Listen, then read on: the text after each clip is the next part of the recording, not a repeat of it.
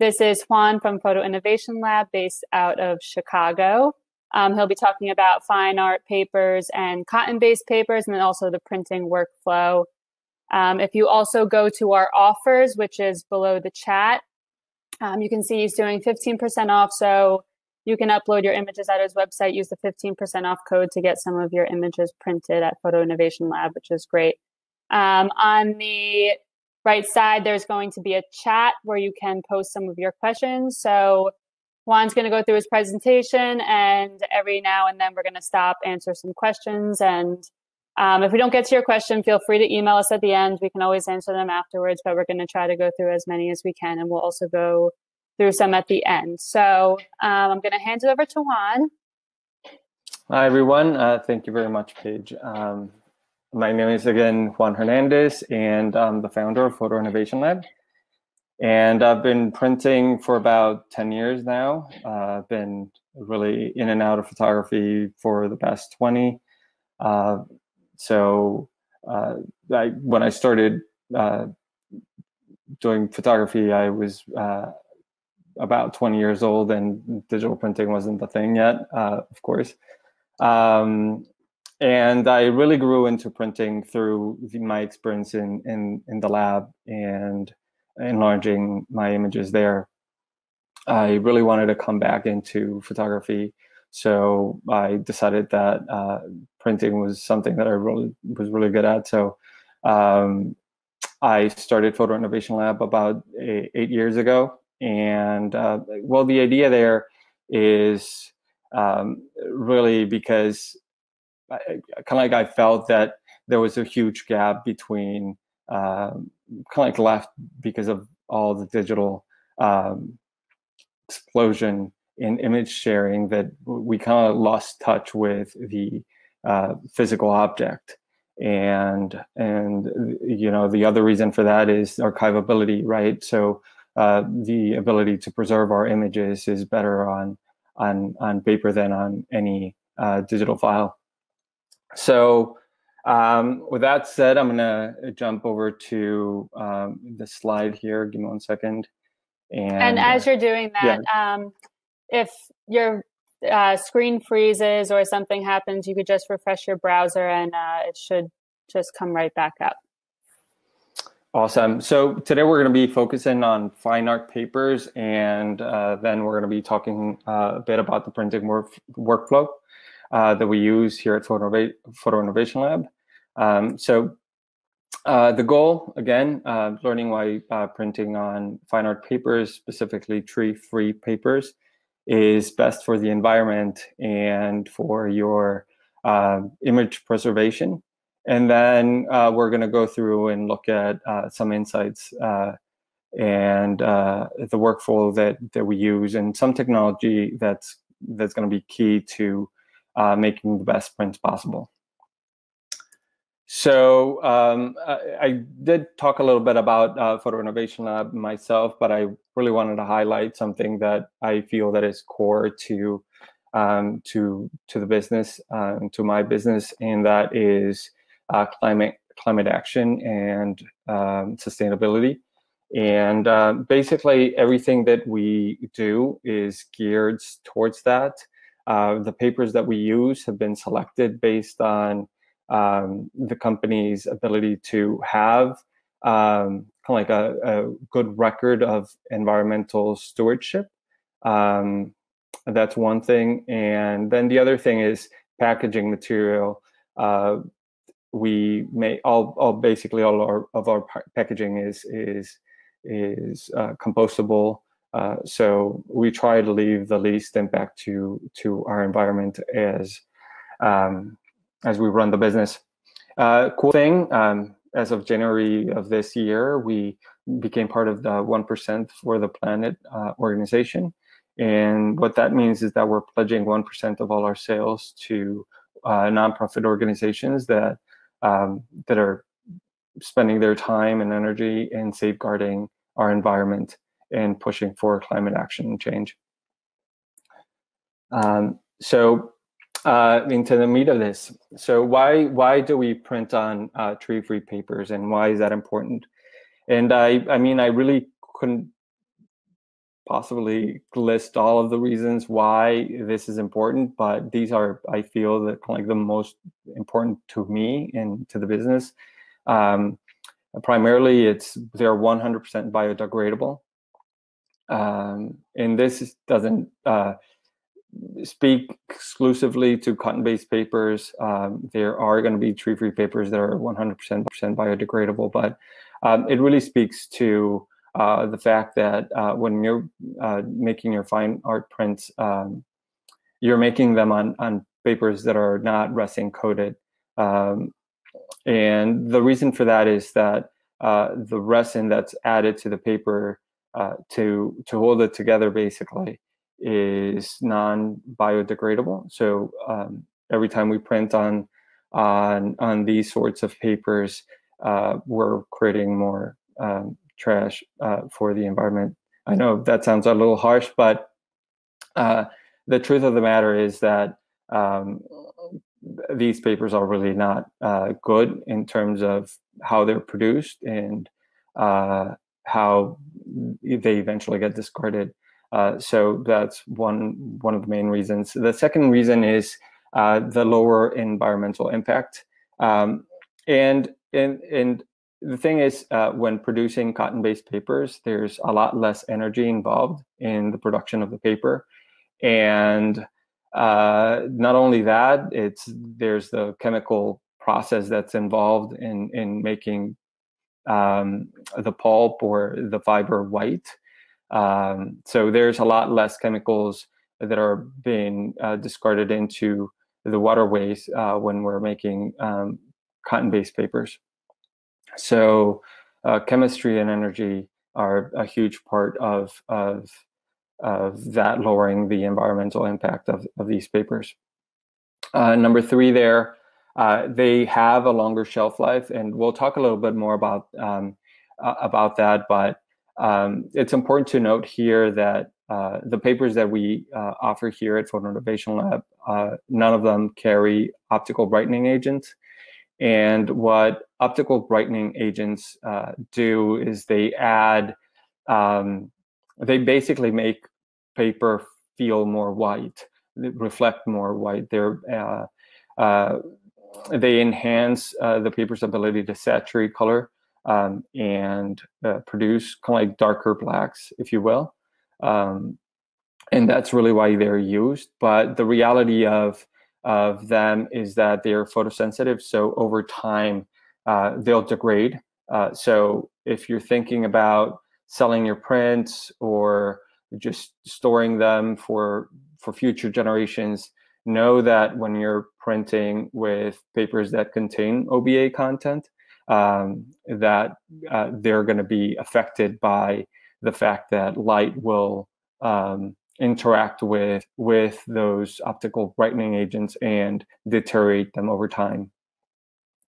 And then the last thing there is the, like there's a wide vari- variety of textures and, and, and, finishes available to you. So there's not only uh, cotton is one of the, the main fibers that um, that uh, that meet our our environmental standards, but there's um, other fibers such as bark, hemp, bamboo um, that are that are beautiful to work with. So there's a wider, there's a really wide gamut of, of papers available for you to experiment with um, in in in this range. So the next couple of slides, I'm going to uh, do a little feature on on the papers that we use and showcase some of the differences. So this is the close up of the Moab Entrada. We talked a little bit about texture on the paper. I feel that uh, this paper really has a beautiful texture. Um, it's not overwhelming um, like other fine art papers. Uh, I feel that for photography, they're really uh, uh, coarse in terms of their texture, but this paper is really soft and and the texture that that that it has really enhances um, every single one of the images that are produced with it. Um, it's a warmer tone paper. Um, most of um, the the fine art papers uh, made by Moab are a little on the warmer side, um, and hopefully we're going to be able to see that on the next slide. Uh, this is um, side by side of the Canson uh, Infinity Photographique uh, paper that we also carry here at Photo Innovation Lab, and uh, the Moab Entrada Rag Natural, uh, the paper that we just saw. And this is uh, more so to compare uh, one tone of the paper and then texture. Like I said, that there's going to be a wide uh, variety of different textures available through the fine art papers. And in, in this case, the Canson is, is a paper that has a very, very smooth finish. Um, and compared to, to the Moab, it also um, has a, a, it's, it's a wider uh, paper. So if you're thinking about uh, brightness uh, as being important to your project, uh, this is a paper that you um, that that you would possibly be wanting to to look to look into.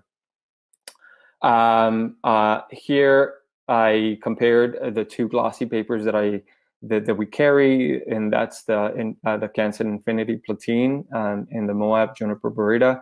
Again, uh, this is it, it's not going to be clear here. It's not uh, a great image to to look at to see um, kind of like the reflectivity and the shim the the shine on the paper.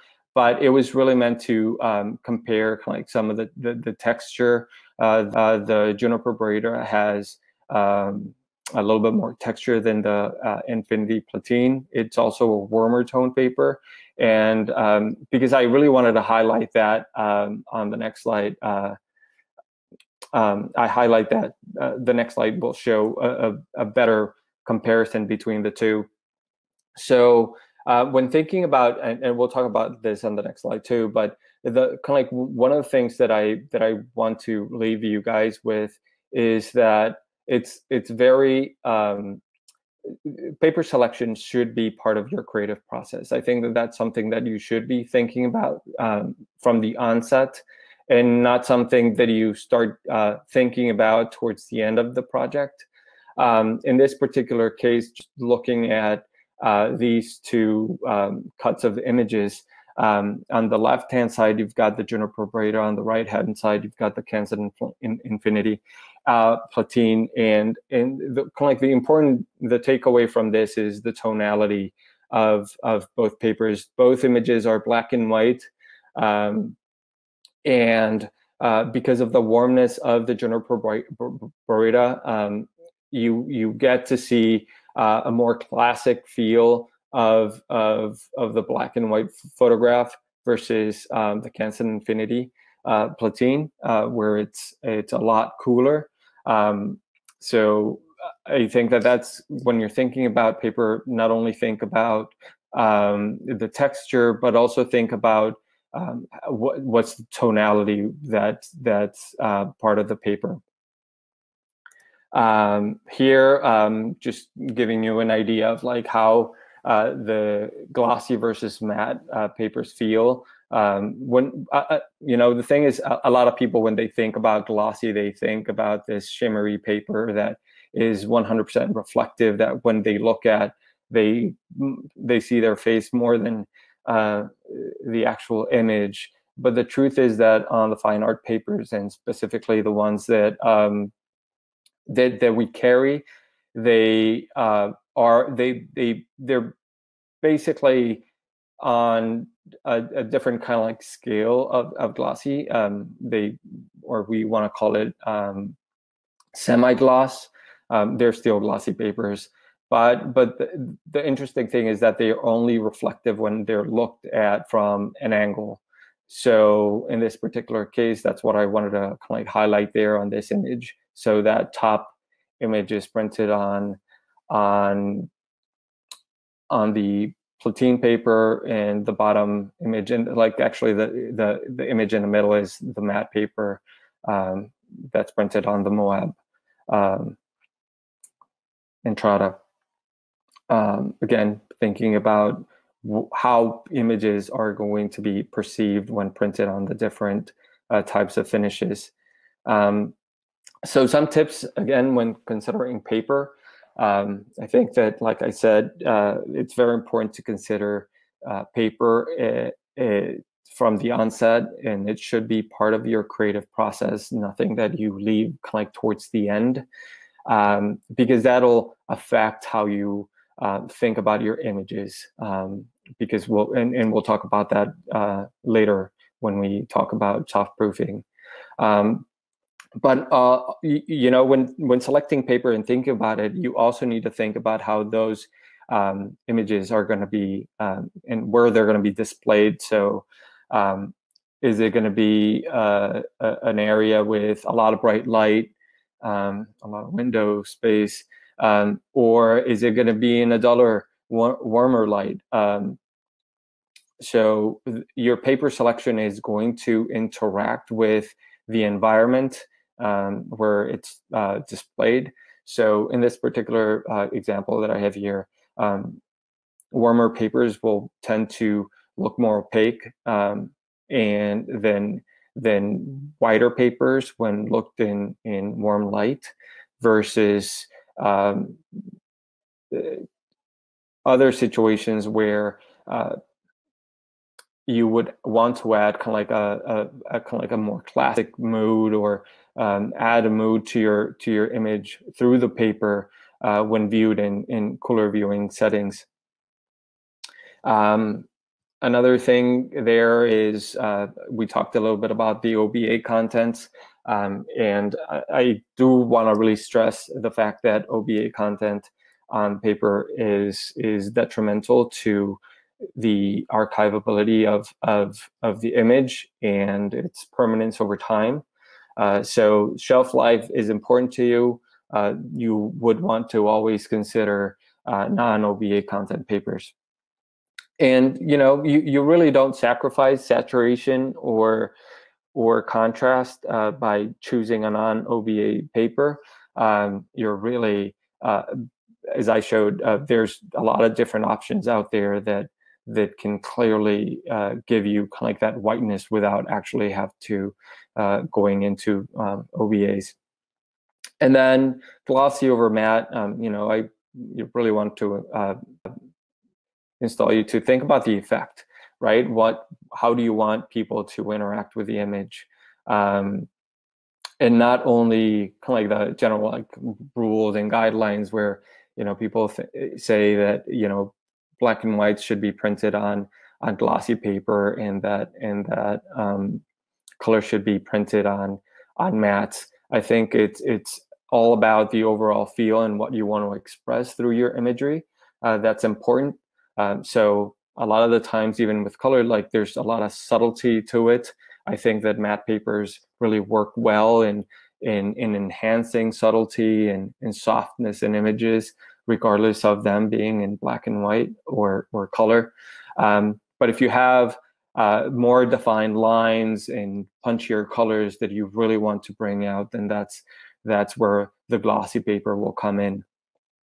So I don't know, Paige, if you if if we have any questions uh, yet that um, that we can address before we move into uh, the printmaking part of of of the workflow question. Um, so we don't have too many questions, but someone is wondering whether you use an Epson or a Canon printer. So I I exclusively use uh, Epson printers. Um, I don't use uh, Canon printers. Got it. Um, there is there is no um, true kind of reason for that. Um, it's mainly uh, just I I like consistency, so um, that's the reason why I I chose uh, to to to print uh, with the Canon. Uh, it does bother me that I have to be switching inks, um, and it does uh, come at a cost. But um, I think they're fast and they're really reliable printers. So um, you you know there's fantastic versions of of of of, of both on both brands if you're thinking about investing uh, on a printer for home. Right. And another question, um, I'm not sure if you really use uh, the silver gelatin paper, but um, do you know the similarities between a semi-gloss and a silver gelatin, or do you so yeah, um, no, I, I don't print on silver gelatin, but um, in terms of of there's a couple things to consider there. One is we're printing on with an inkjet, so there's going to be dots um, added to the paper versus the silver gelatin is is is a paper that you're going to be um, uh, exposing light to. Um, so it's continuous tones versus um, non-continuous tone. Um, but in terms of the feel of the paper, um, there are different uh, papers out, out, out there that that really uh, have a silver uh, gelatin feel. Um, I think that the Baryta rag has a very uh, close feel to it. Um, it's just a little warmer. Um, but they, then again, um, you can get different grades of of of of, uh, of the white point on on the silver gelatin paper. Hopefully, I was able to answer that. Yep, and he there was another question about similar inkjet papers, so I think you answered that with the juniper. Okay, great. Yes, and yeah, and in in the Platine paper also um, is is a very nice paper when compared to um, um, kind of like an old school um, paper, lab paper, basically. Great. I think we can keep going. Awesome. So um, I wanted to highlight a couple things here um, for for printmaking, and um, so the the main thing is that there is no um, magic bullet. Uh, there's no one true way to go about the process. I think the process is more um, trying to build control about um, what you're doing in order to have very consistent results throughout your printing workflow. Um, one of those uh, important elements is highlighted there is number one, monitoring calibration. Uh, we'll talk about this a little bit in extent, um, but we'll focus more on calibration because I feel that um, it's kind of like that's one of the biggest pitfalls um, uh, uh that we need to shore up. Um, color space, we're going to spend some time talking about file types and image resolution, and lastly, the histogram. So um, monitor and uh, calibration. So I, I, think that kind of like the biggest and most important thing is that um, as you're editing your images, um, you use a calibrated monitor. Um, there's a lot of different uh, uh, spectrometers uh, and colorimeters out there that will achieve that. Um, it's important that you actually use a device and not use kind of like your eyes to to calibrate your monitor. Um, I know that, for example, if you're if you're working off of a Mac, um, they have a um, um a way to actually they tell you squint, uh, set yourself up, you know, a couple feet away from the image, and and squint, make sure that this line the, the the lines start to uh, blend, um, and so on and so forth. But that's not accurate. Um, uh, your your eyes are going to be um, misguiding you in that process. And the reason for that is that, um, well, there's ambient light to also consider. Um, and the cool thing about the, the, the spectrometers and the colorimeters is that they they take that bias out.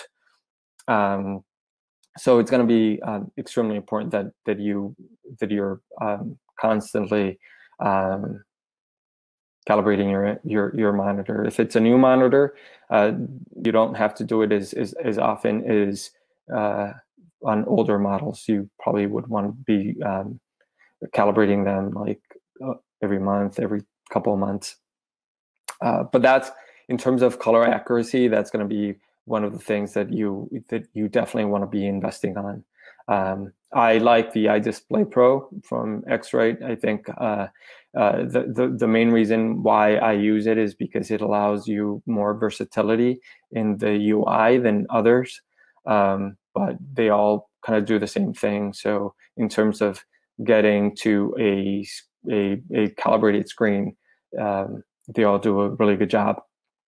Um, in terms of your monitor, uh, I think it's kind of like the most important thing is that it displays 99% of the Adobe RGB color space. Uh, some tout 100%, um, but 99% is is more than good enough. Um, the other important thing is that they're non-reflective. Um, and the reason for that is because uh, when you're editing, um, even your your shadow casted over the the monitor will affect color and how you perceive it. So um, a matted screen is going to be way better than than um, than a glossy screen. So if you're uh, let's say editing on a MacBook Pro, um, you you would want to um, compensate, and I guess you'll get that through experience from printing a number of times. Uh, compensate for the reflectiveness and the added kind of like contrast that um, shiny and, and reflective screens have. So uh, before we move to the next slide, I don't know if we have any questions regarding calibration and monitors. No, I think we can keep going. Great. So color space is is is the other area that's um, that we we need to consider. Uh, we talked a little bit about it when when when thinking about buying a monitor, right? So it needs to have the Adobe RGB color space.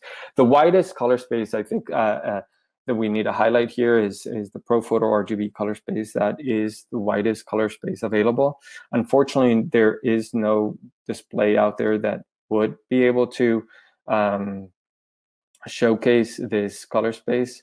So um, although you would want to edit on it when you're exporting your files and sharing it with your printer or uh, out uh, outputting them for print for yourself, um, that you export them using the Adobe RGB color space. That's the color space that you're going to be basically looking at through your screen. So um, that's going to be important.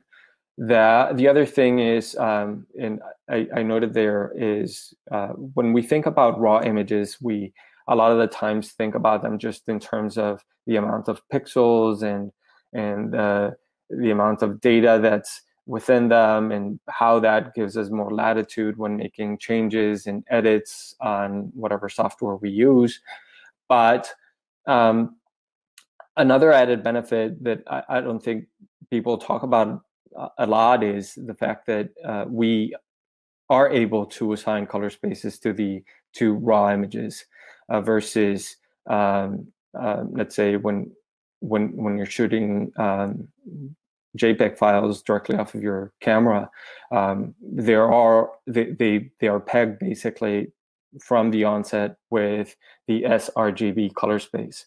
So when thinking about RAW, also think about the fact that you're getting um, a wider color space versus um, just uh, when when you're shooting in RAW on on JPEG from your from your camera that you you have a limited color space. Uh, the same thing goes if you're shooting, um, you know, using your camera phone, right? Um, there's uh, applications that will allow you to to shoot in RAW with your camera phone, and I think that that's an advantage because once you shoot with your camera phone on um, uh, and exporting directly to JPEG, uh, that the sRGB color space is going to be, be assigned to them, and you're going to lose um, a lot of the color uh, range in in that image. Um, so so it's it's going to be really important for you to to to export uh, your files again, like in in the Adobe RGB color space. But if you're soft proofing your your images, and I don't know if you're very familiar with soft proofing, we can I can answer questions around that. But um, when you're exporting files that you've soft proofed, um, it's very important that you assign that ICC profile to to to the image uh, before you send it to the printer. That way, when the printer gets the file, they they know um, what profile to use before printing.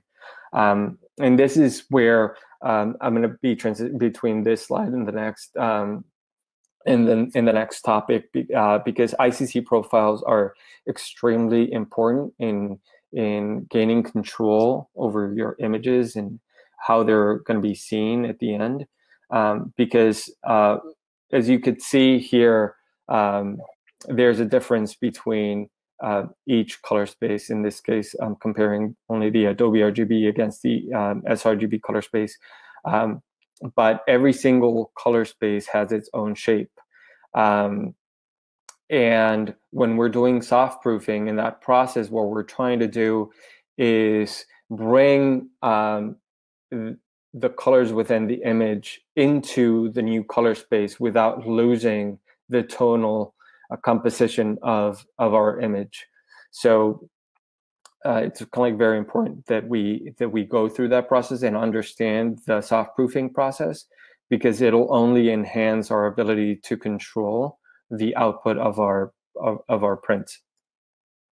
So here I'm I'm comparing. Um, I took a sample of the uh, the color space, uh, the ICC profile that we that we built uh, for the Moab Entrada uh, rag, um, and compared it to the Adobe RGB color space, and the same thing with the Juniper Baryta.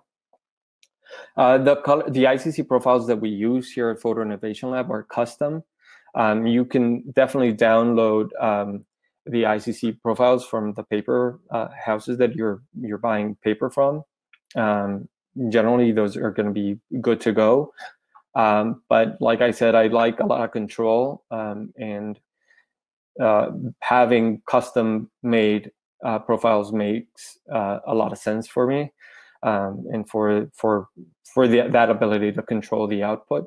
So um, if you're printing with us, you can uh, request ICC profiles. We will share those with you. You can install those on your computer and do your own soft, proofing uh, and letting us know what profile you're using uh, on what printer, what paper you're going to be printing on, and and we'll do that for you. Um, so looking at these two, the important thing to note is that um, even on the paper, some have a wider gamut depending on on on certain uh, cuts of of of of the color uh, tonality range here on on the on the graph. So uh, it's really interesting because even when you're when you're editing, in some cases, you're going to be you're not going to be able to to to edit to the amount of available uh, tonality on the paper, and that's just the limit of the technology. Um, but again, if you're using the Adobe RGB color space, um, or even if you're editing on ProPhoto RGB, you're going to be uh, good to go. Again, as long as you have a calibrated monitor and um, and you're displaying that 99 or 100% of the Adobe RGB color space. And just going back quickly, um, yes. Do you have a recommendation for a desktop monitor? So uh, there's a there's a number there there's a lot of uh, very good brands. Um, EIZO is a good brand uh, for a desktop monitor. Um, there's the C CS uh, 2404 um, that's at a good price point. Um, or BenQ also produces very nice monitors. Um, I think that um, there there are a, a, lot of different flavors um, in, in, in options. I think that kind of like the most important thing is that, um, and I probably kind of brushed over this or didn't or forgot to mention, but um, the, the, fact that uh, the monitor is hardware calibrated. Um, if you want to take note of that, um, hardware calibration in monitors is really important because it allows a wider, uh, uh, let's say more accuracy when when when calibrating it, um, and they'll hold true to that calibration uh, better than uh, non-hardware calibrated uh, monitors. And kind of like the difference between them too is think about like having a a an extra video card added now to the monitor. Um, so so it basically works uh, similar to like your the, the video card that you have on your PC, right? But um, with the added benefit of of uh, more lookup tables. Um, and I don't want to get like into the technicality of it, but um, definitely look into a hardware calib- uh, uh, calibrated monitor and um, that has the Adobe RGB uh, color space at 199%. And then is it better to soft proof in Lightroom or Photoshop? So I I am extremely biased um, towards Lightroom. I think that Lightroom has um, uh, kind of like a simpler way to to do the soft proofing. Um, in Photoshop, it's hard to to look at um, the before and after and compare two images at the same time. Um, and and why I'm saying that is because in Lightroom, when you're soft proofing, you're able to compare your soft proof to your master print at the same time.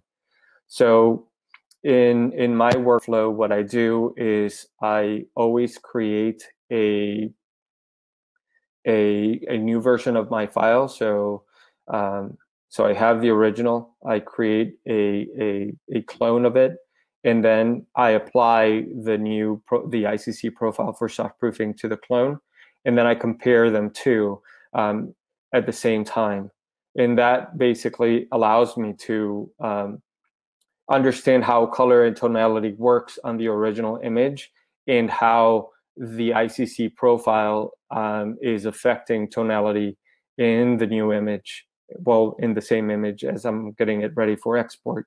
Um, so uh, that's why I like uh, working off of the, the Lightroom um, environment versus Photoshop, where you have to select um, basically one setting. If you're soft proofing, you're 100% soft proofing. You can't look at the image without it being in like that soft proof mode. And then what software are you using to compare um, the ICC profiles? Oh, this is ColorSync. So if if you have um, a Mac, um, it, it is built in. So uh, you can compare once you you you add your your profiles, the, the profiles that you either custom made or the profiles that you downloaded from from from the paper uh, manufacturers, you you're going to be able to see them. I can actually switch over quickly to show you um, the how that looks like on here. So this is this is basically ColorSync. Um, you're you're able to see this, right? Yes. Yep. Uh, awesome. So here are my custom profiles. Um, and this is basically how the Infinity Rag Platine looks like. Um, and then the different um, papers that I use uh, and the different printers that I use. So you would want definitely to have a different ICC profile for uh, dedicated for the printer and the paper. So basically, um, they're not interchangeable. Um, and that's also why there's profiles for each um, paper printer combination when you're downloading them from from from the paper manufacturers. So here's a, again, we talked about the Adobe RGB. I can share with you quickly um, the ProPhoto RGB. Um, it is so large, it doesn't even fit in this little box. Um, and then how it compares, you could easily, here you click on Lab plot and you hold for comparison, and then you can go to your, let's say, to Adobe RGB and compare that. So that's ProPhoto RGB against um, Adobe RGB. Another cool thing is that when you're editing in Lightroom, um, you're seeing uh, Lightroom displays images unless they're um, unless they are uh, pre-selected in terms of like you've giving them a color space. Um, they're going to be showcased in in pro in the ProPhoto RGB uh, color space. So if you're editing and your workflow is based off in Lightroom, uh, you are looking, there's no color, the color assignment is really ProPhoto RGB. And then when you, let's say if your workflow says, okay, I want to make some very um, uh, dedicated changes to the to, to to my image that require Photoshop. When you export the when you go into Photoshop, um, Photoshop will ask you what color space uh, you you want to be working on, Um, either you can keep it in ProPhoto RGB or you can like immediately uh, change it to Adobe RGB and make your changes in Adobe RGB, knowing that once you bring it back into Lightroom, that file is now in the Adobe RGB color space. Um, we do um, have more questions, but I think you might be answering them throughout the rest of the presentation. So we'll keep going, and then at the end, we can go back to some of these questions. Awesome. So um, file types, um, when exporting our images is, is crucial uh, because those are the files that are going to be sharing with your printer, and you want to make sure that your files are of the best uh, quality for them to be able to output your images at the highest quality again. Uh, so when you're exporting your files, I highly recommend that you export them as 16-bit TIFF files. Um, what the 16-bit uh, will do is it'll it, it'll it'll allow more tonality and color to be saved within the file uh, versus and this is versus 8-bit. Um, so J, JPEG files are only 8-bit and so whenever you're exporting to uh, the JPEGs and sharing JPEGs for printing outputs, um, you're losing a lot of color information on the file. And how that works is basically um, you got to think of it as a, um, it's it's really exponential. So if you think about the bit in terms of two, um, it's two to the eighth power. Um, if you're thinking about a JPEG 8-bit file, or two to the 16th power if you're thinking about a 16-bit file. Um, so um, if you want to preserve uh, the tonal range, if you're thinking about, uh, if you think about um, uh, smooth gradation, 16-bit file is extremely mandatory for you when you're when you're when when when you're exporting because um, otherwise you'll lose a lot of that transition data and that may uh, affect banding uh, when you print. And TIFF files, uh, TIFF files um, are files um, are kind of like the best output uh, format. Um, it doesn't compress data, so basically uh, they become really large files, and um, the more data they have, the better. Uh, that's how I see it, even if it means more hard drive space. Um, but here, the more the merrier. Uh, so try to export always to TIFF. Um, and if if you're working off of Photoshop and you have a lot a lot of layer content, I highly recommend that you flatten those TIFF files before you export them um, or during export, um, because you don't want to be sending your your your printer uh, all your layers. And that's just because there could be an error and somebody may change some layer and really uh, dramatically affect your work by mistake. So you want to really prevent uh, these type of things happening. Um, so flatten your TIFFs, um, save them as uh, 16 bits um, is is is crucial when uh, producing files for high quality output. Um, if you're printing with a third party, you should send uh, the image files is in, in with the Adobe RGB uh, color color space assigned to them. And the reason for that, again, you we we talked a, a lot about that uh, a little bit ago. Um, it's uh, it's very important that you do because that way you you guarantee that um, the color space that you're using is exactly the same color space that they're going to be using.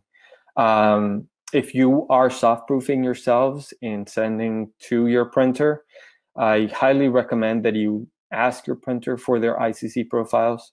If they have custom profiles, ask for those. Uh, that'll guarantee that what you look at is exactly what they're going to be looking at in their screens. Um, of course, there's going to be some variability depending on like the viewing setting, because as we talked a little bit when we uh, covered kind of monitors, ambient light is going to affect how how you perceive images even from your screen. So um, but the most important thing again is control, right? And how do you control the process is by um, delivering exactly the same, eh, talking the same language that your printer does. So in this particular case, it would be the ICC profile. If you if your printer does not use custom ICC profiles, they use the paper manufacturer's ICC profiles, then go ahead and use those. Um, but otherwise, um, use the ones provided by your printer. Another big important thing is always, um, and this is, um, I, I, think should be part of everybody's workflow is uh, always note the the the the profile that you're using to export your file. So the more information the the printer gets, um, without having to dig into your file, uh, the better because it just makes the process a lot smoother. There's a lot less questions. Um, so if you're saving your if your output file you profiled it um, you did your soft proof uh, for the moab entrada rag on let's say and you're printing on a p6000 the epson p6000 uh, note that on your export file so that the when when the printer gets it they know to put that file and print it using that icc profile um, otherwise uh, they wouldn't know and, and you know there could be changes to to your file once it's printed. Um, image resolution. I don't know if we want to talk about more ICC stuff before we go into um, this, as it changes a little bit of the subject. Um, we did have a question about do uh, do you view under D five thousand light? So I use so the, the that's a that's a good question, right? So I in terms of the ambient light, I try to control it as much as possible in in in my work studio. Um, I use I, I do have uh, the little box of the lighting that that I that I use. It's this guy. Um, it outputs light at um, five thousand. Uh, ah, for, uh, Kelvin. Sorry about that. Um, uh, so it's it's it's basically calibrated to daylight, um, and that's pretty. It's kind of like the best uh, um, color temperature to use in in your space. Um, always, of course, uh, try to maintain your space uh, to be in a constant color uh, environment. so, for example, if you're, I think that somebody talked about this on an earlier uh, webcast and it's really really important i can stress that is that when you're editing try to edit always in the same room um, at the same time um, if you can't control uh, let's say the lighting conditions because it's a it's a room that has a lot of windows. You i i think it's part of the discipline. You have to edit there um, kind of like around the same times. Um, you don't want to be editing um, in in the morning and then uh, when you look at it in let's say in the evening when the sun's coming down um, that's going to change the viewing conditions um, and that's going to definitely affect the way that you see the file from your monitor so um, controlling uh, your your the, color within your workspace is going to be um, extremely important so yes uh, i do have um, we do try to control that as, as much as we can within the space. I don't have a lot of windows where where where we print, um, so um, the lighting condition is is extremely constant in in that area. Great. And then, um, what brand and model number? You, I'm not sure if you'll have this on you, but for viewing light bulbs. So there, I mean, there's there's so many out there. I mean, LED lights are, I, I, feel, the way to go because, of course, they're they're they're very consistent in their output. But I mean, the ones that I use when you when you look at them uh, online, they're these are Feit Electric. Um, I can uh, share um, some information later, but um, as long as they have day, they're calibrated to daylight in 5000 kelvin um, that's uh, going to be good. What i like about these guys well one they're big. They're really made for out outdoor spaces so they're barn lights. Uh, but and there, there's of course there's more regular light bulb type ones. Uh, but what I like about these guys is that they're big um, and and they they really spread out light uh, very evenly. Um, so uh, I recommend these, but there's of course the round light bulbs as well. Um, but no, I don't have a brand that I really. I, I'm not really married to a brand, but I'm married to the calibration of how much light it's going to output and the, the color of that light. That's that's the most important thing. Five thousand Kelvin. Great. Um, any other question? Um, I think we'll keep going through and then try to get to some of these other questions at the end. Great. So image resolution. I, I th this one I I added in there because I I feel that this is kind of like extremely important because um, there's a lot of misconception with regards to um, image resolution and there's this number that gets tossed around the 300 ppi or 300 dpi um, and it confuses um, a lot of us. Um, it took a while for me to uh, wrap my head around this one in terms of how do I explain it to to to others. Um, but I think kind of like the main, the most important thing when thinking about um, kind of like the image resolution here is think about image dimensions with respect to the print size. Um, so what that means is how big your image is in its dimensions, length, and width, compared to uh, where you're going to be printing it on. So 11 by 14, 9 by 12, 8 by 10, right? Um, and that's where that 300 PPI number really comes into um, be part of it. So the majority of printers today, they have a maximum a resolution of 300 PPI, which means that they'll they, they're printing um, 300 pixels per inch, um, and that's the resolution they take. So um, what that means in terms of size, what I did is in this chart, um, I, I, I basically did the calculation for you. So if you're going to print, print a four by six at 300 ppi, you want to have a file that's at least 1200 by 1800 pixels.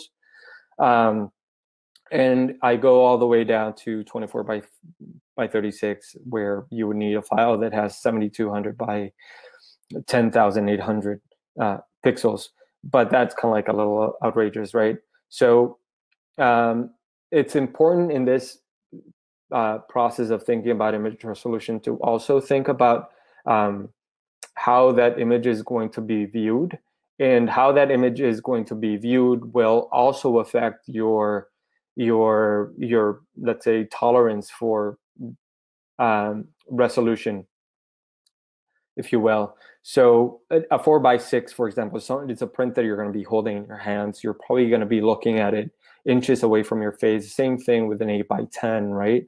Um, so what happens is if you have a lower resolution file um, is that you're going to be looking at uh, at the pixels when you're holding that print or looking at that print um, really close to your face, um, you're going to be seeing some of that uh, pixel distortion, which doesn't happen when you go into the larger sizes, right? So if you're thinking about uh, a print that's 20 by 30, you're probably going to be looking at that print from a couple feet away.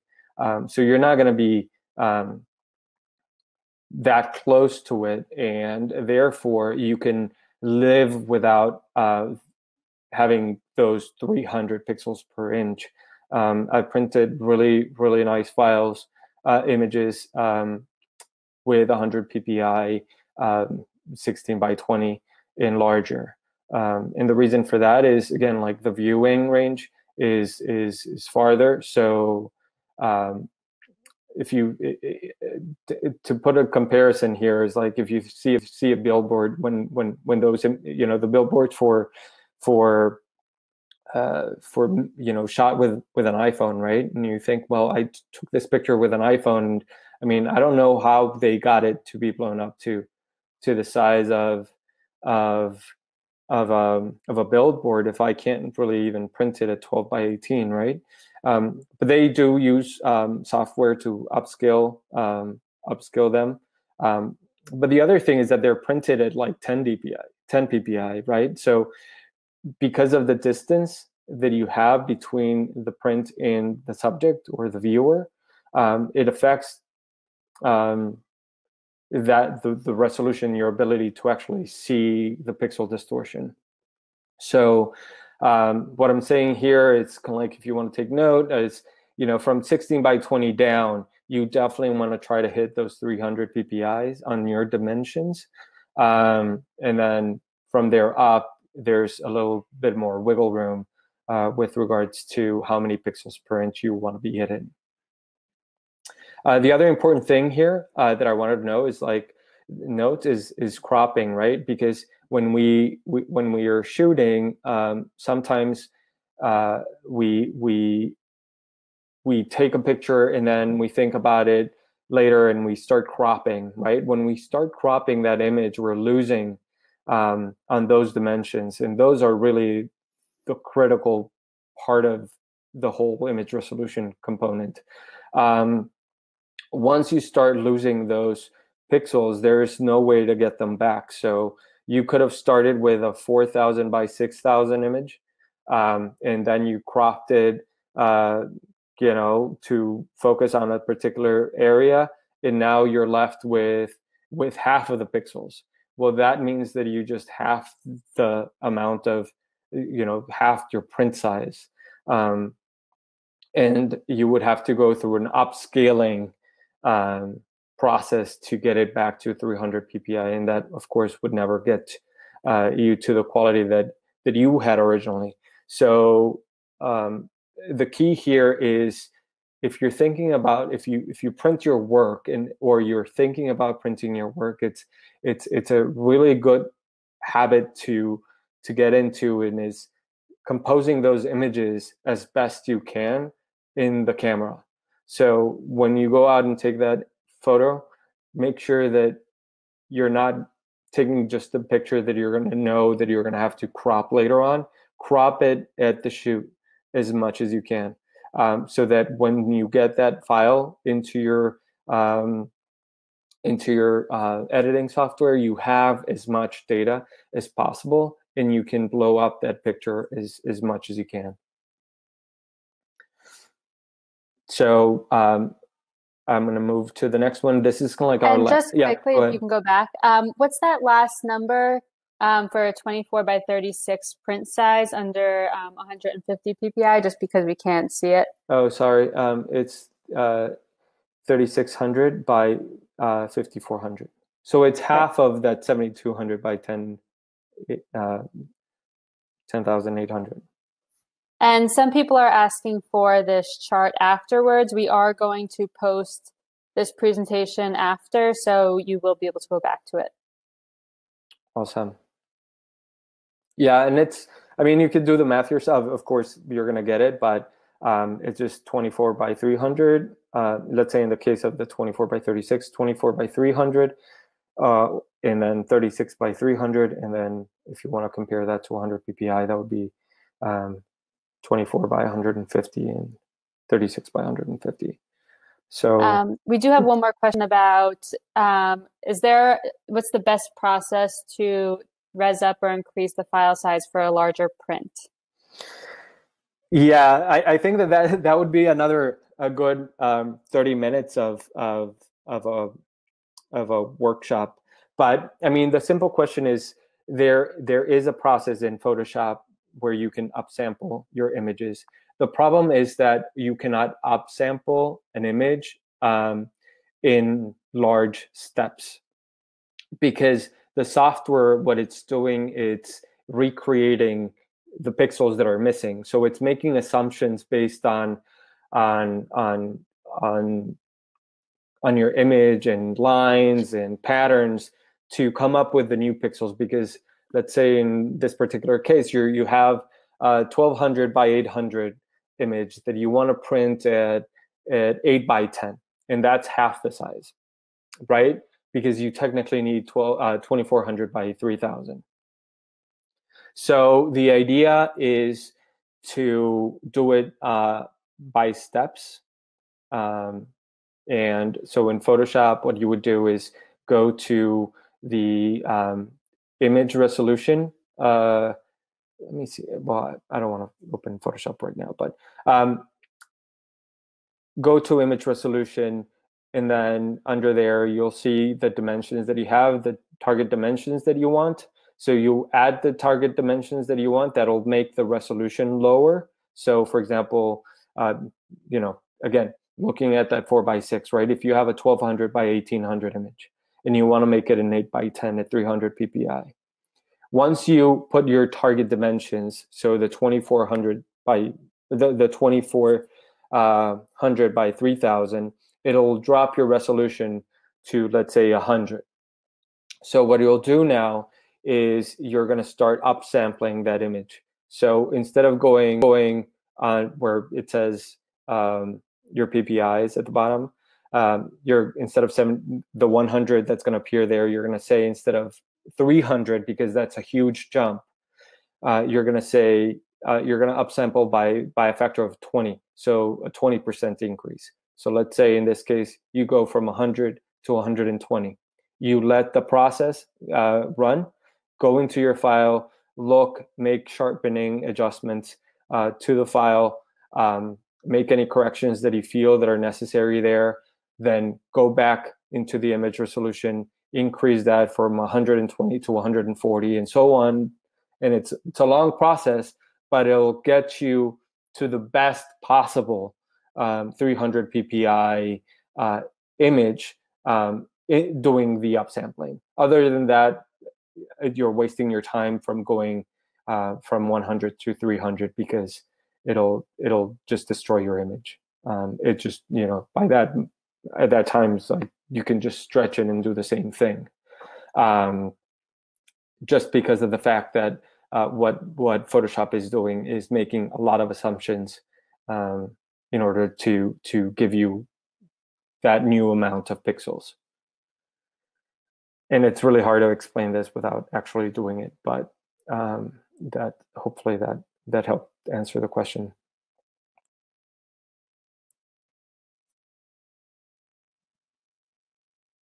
Okay. Paige? Yep, we, we can keep, awesome. keep going. Yep. Awesome. And then I think that the last one uh, here is is the histogram. And with regards to the histogram, we we, we all know it's like take a balanced image.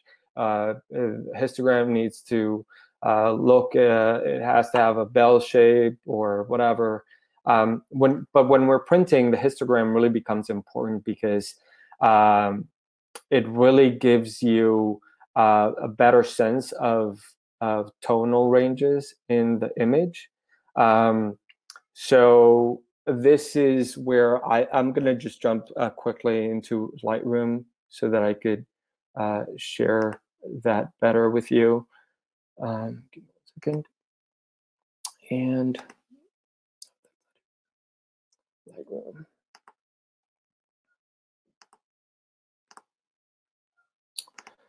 Right. So you're looking at my Lightroom, and so uh, in this particular image, right, this is the histogram area here.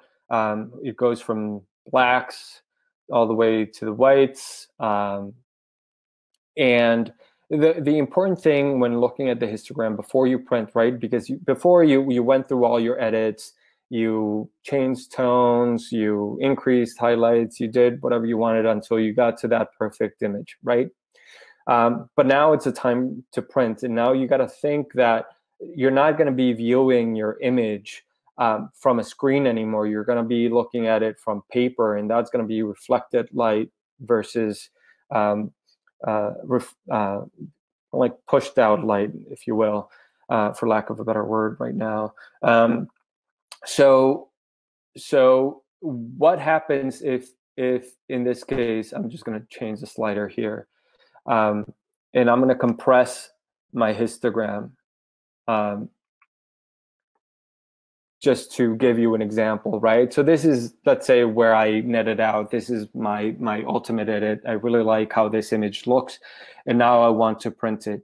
Um, so what I my approach to this is is do I have a true white or true black in my image?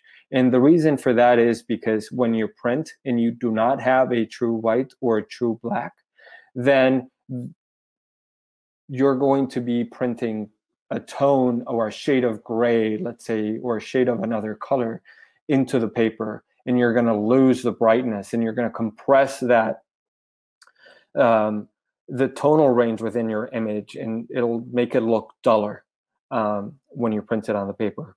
So, and Juan, is there a way that we can see the histogram? Uh, yes. I don't know what you're seeing, so let me. Is that better? No. You're still not capturing it here? I don't no. know. Okay, so no, then I don't know if there's a better way to do that. Okay. And I'm going to be sorry, then I'm going to go back to the slide. Um, let me see why what you're seeing. I can't see what you're seeing. Okay, you're just seeing kind of like that little square. Let me see if I can.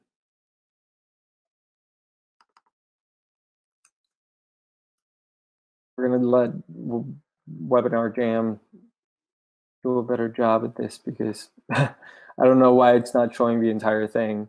Um, I'm sorry about that, guys. So I'll I'll I'll owe you that histogram bit example on on on Lightroom, but I can definitely uh, speak to it. Let me go back to the slide so you're not looking just at that image. Um, actually, I sorry. Let me go back into it, and without looking at the histogram, um, for you guys, at least I am looking at it. Um, so so this is my final edit right? And uh, I'm ready for print. What I'm going to do is look at the histogram. Think about my, my, histogram now looks like there is no true white, so the, it bottoms out right before it gets to to the whites, and it doesn't really get into the blacks. It barely touches kind of like that left uh, axis of the of of the chart. So, because I want to want to ensure that um, I have true whites and true true blacks. I'm gonna select the um, the like the the highlight clipping and the shadow clipping on the histogram here in Lightroom, and then I'm gonna start pulling in those whites. So I'm gonna use the white slider to get some whites in my image until I start seeing them and you'll start seeing you start seeing the red right there that's the red that's where I'm clipping the whites.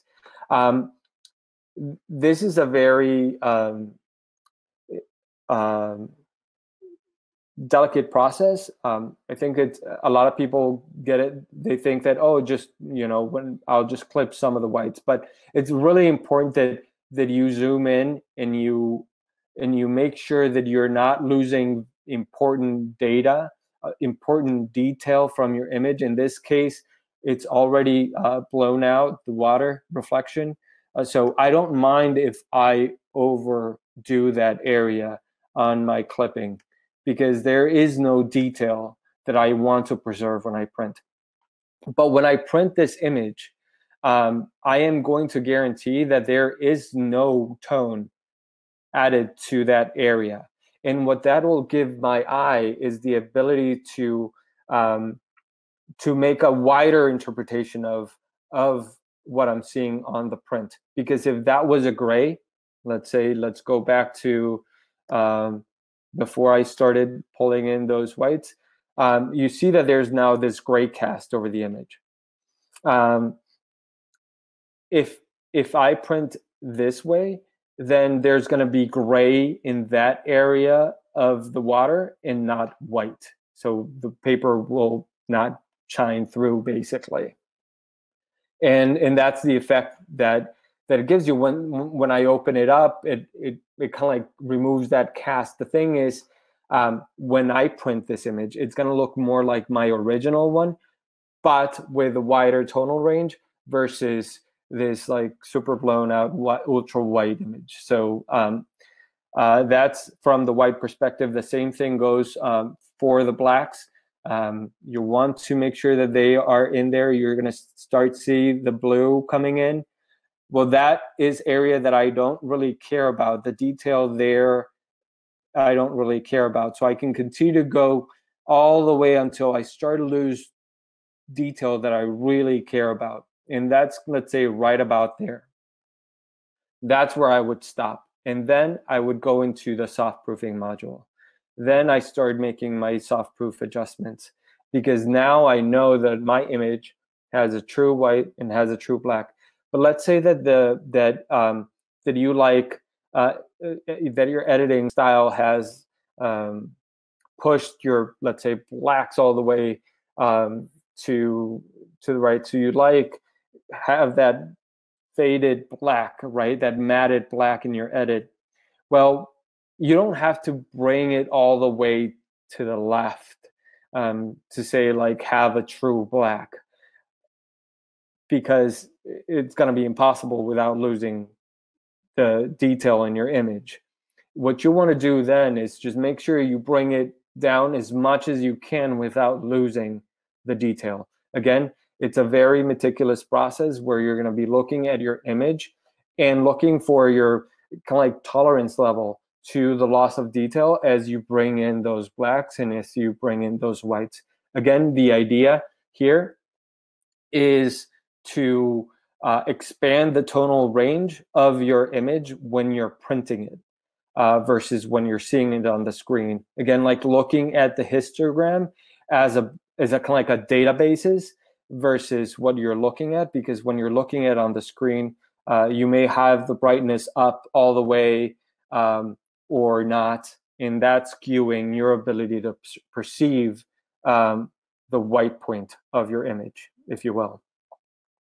Um, I know that this one is definitely one that I would love to have a workshop on.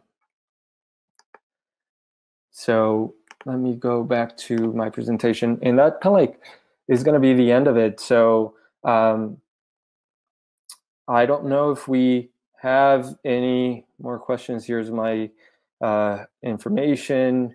I know that that Paige has uh, kind of like the offer that we have for today, which is the 15%. The 15% is going to be good through the rest of the month. Uh, so take advantage of it. And um, my email is uh, Juan Carlos at Photo Innovation Lab. You can drop me an email, ask any questions as well uh, with regards to this topic or any other printing topic, and I'll be happy to answer. Yeah, and if you have any questions for Moab, you can always email us as well, um, and we can answer any questions that we didn't get to. I do have another question that just came in. Um, yeah. In Lightroom, do you set up TIFF in preferences? Um, how do you send a TIFF to the printer in Lightroom? Okay, so um, let me see if I can share that because Lightroom, I don't know why it's not show, showing the entire Lightroom.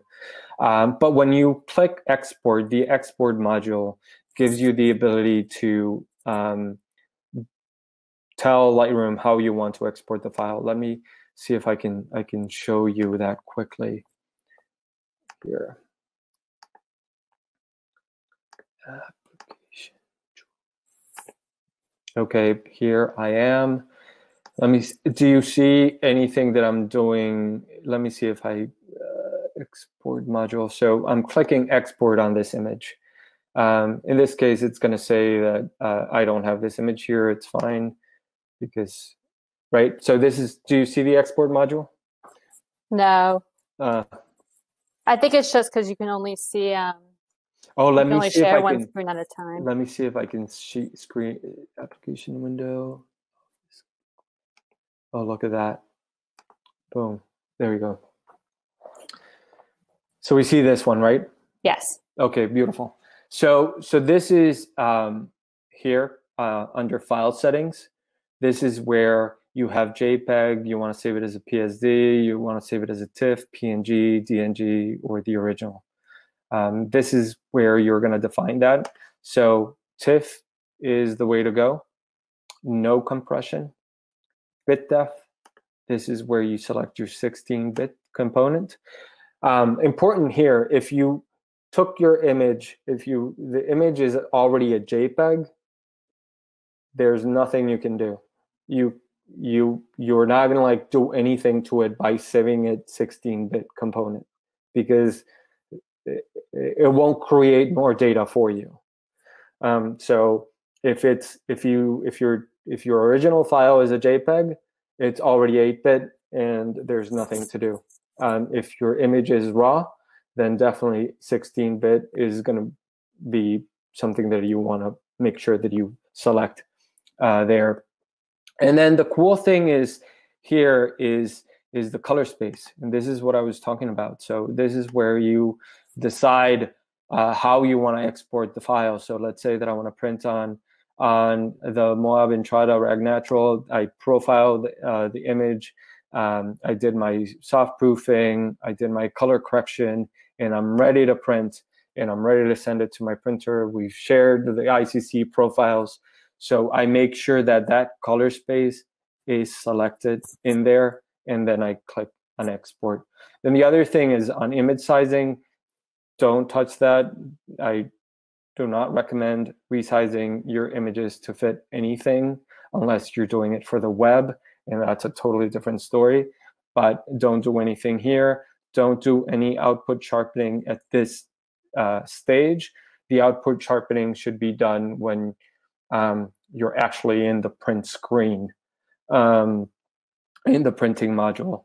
So uh, here you're going to be in file name, you're going to be um, renaming this to whatever your name is, but include, like I said, include the the the color space that you're exporting it to.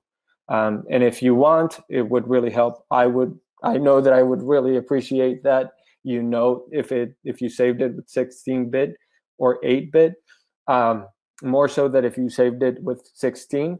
And the reason for that is because um, that'll change the way that I set up my print, uh, the, the printing module. Um, I'll just make sure that I select 16 bits. Otherwise, I have to go into Photoshop and look at the file and then bring it in, and then un, to understand like what the bit def, uh, definition is for that particular file. Hopefully that answered the question, but this is kind of like where it all happens in this export. Um, section. Great. Okay, I think that's all we have time for today, but um, feel free to email either Juan or Moab with any other questions. And we're also going to have some more classes on Moab TV. So we have the live Q&As and some more classes coming up. So just stay updated on our website.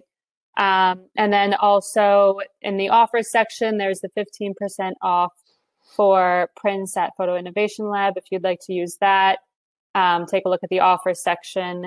And this will also be posted in a few days on our YouTube channel, so you can go back to all of these videos. And thanks, Juan. No, thank you, guys. Uh, I really appreciate the the opportunity to to do this and uh, to be in front of uh, all of you guys. And hopefully, this was helpful. And uh, again, let me know if you have any questions. Um, my, I think Paige, you have my contact information. But um, yes, Juan Carlos at Photo Innovation Lab, and um, hope to hear from you.